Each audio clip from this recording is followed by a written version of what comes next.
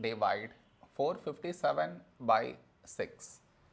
To do this division, we should frame it in this way.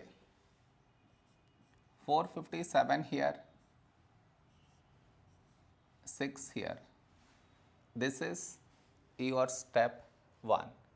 Next, here we have 4, here 6. 4 smaller than 6. So we should take two numbers 45. A number close to 45 in 6 table is 6 sevens 42. Now we should subtract, we get 3. After this, bring down the beside number. So 7 down, so 37.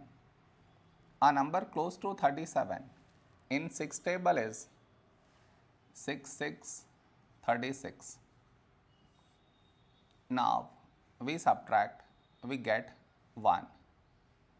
After this, no more numbers to bring it down.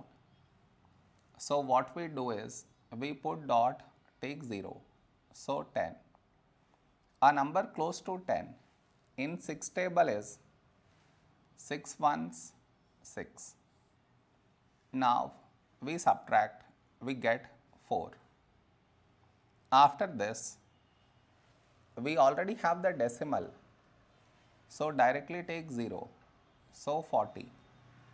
A number close to 40 in 6 table is 6 6 36. Now we subtract, we get 4. Now you observe, we had 4 here and we got 4 again.